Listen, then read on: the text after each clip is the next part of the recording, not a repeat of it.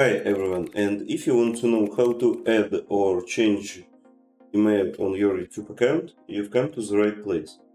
So, what you need to do? First of all, you can't uh, add new email to your main YouTube account. So, you need to go to your main YouTube account, and here you need to press on settings on your main YouTube account and click on add or manage your channels.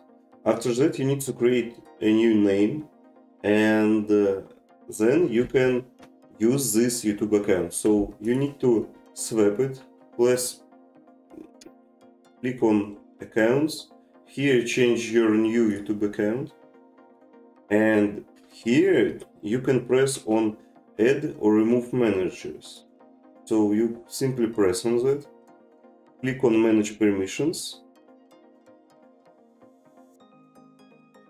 And here you can invite new users. So simply add uh, his uh, name email and uh, you need to choose the role. It's owner or manager. Uh, if you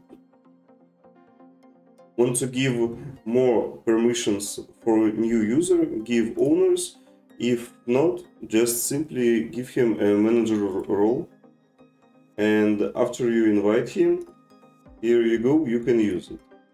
And the second way is to click on your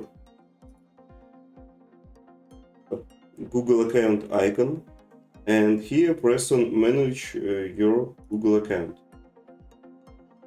Once you've done that, click on personal info scroll down a little bit.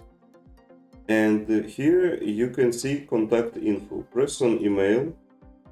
And here you can add recovery email or alternative email. If you add alternative email other email address uh, it means that other email address which you add you can use to sync in into your youtube account. And uh, they can also be used to, to reach you in case you get locked out I hope uh, it was helpful for you. Thank you, leave a like and subscribe.